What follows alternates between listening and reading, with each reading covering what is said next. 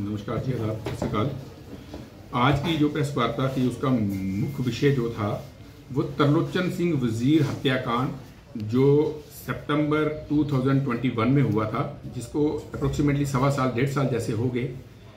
क्योंकि तरलोचन सिंह वज़ीर यहाँ अपनी कम्युनिटी के एक स्ट्रांग लीडर थे, वहीं वो अनदर कम्युनिटी के भी, जैसे हमारी पकड़ लिया, आल जे के ट्रांसपोर्ट वेलफेयर एसोसिएशन। ये एक ऐसा गुलदस्ता है जिसमें हर कम्युनिटी का आदमी है। वो इसके भी बड़े चहेता एक नेता के तौर में थे, क्योंकि उन्होंने, जैसे हमारे प्रधान साहब पहले भी बता रहे थे कि उन्होंने 40-45 साल अपने ट्रांसपोर्ट को दिए।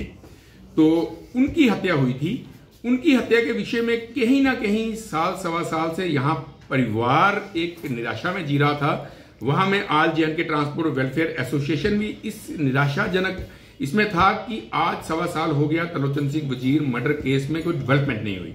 तो आज जब हम सुबह उठे न्यूज़पेपर देखा तो उसमें एक फर्दर एक बड़ी, बहुत बड़ी डेवलपमेंट थी कि उसमें तीन बंदों, औरों को पकड़ा गया। क्योंकि उसमें मेन जो कातल था, हरप्रीत सिंह खालसा, जो पिछले साल, सवा साल से पकड़ा नहीं जा रहा था तो जेकेपी पुलिस को हम अप्रिशिएट करते हैं कि एक डकैती केस में उन्होंने जो अमित राणा पकड़ा, वो अमित राणा ही एलाइज हरप्रीत सिंह खालसा निकला। तो हरप्रीत सिंह खालसा को शायद दिल्ली क्राइम ले गई होगी।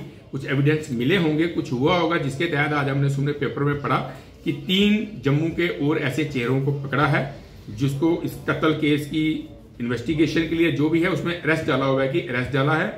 तो हम अप्रिशिएट करते हैं दिल्ली क्राइम को, जो इस कत्ल केस में साल, सवा साल से लग के आज कहीं ना कहीं हमें भरोसा हुआ है कि जहाँ परिवार को, पूरे समाज को न्याय मिलेगा, और उन्होंने कहीं ना कहीं हमें न्याय दिया है, मगर हमारी तरफ़ से ऑल जे के ट्रांसपोर्ट वेलफेयर एसोसिएशन की तरफ़ से उनको ये रिक्वेस्ट रहेगी उनको ये गुजारिश रहेगी कि इस केस के संबंधित जो भी आदमी हो कोई भी बचना नहीं चाहिए।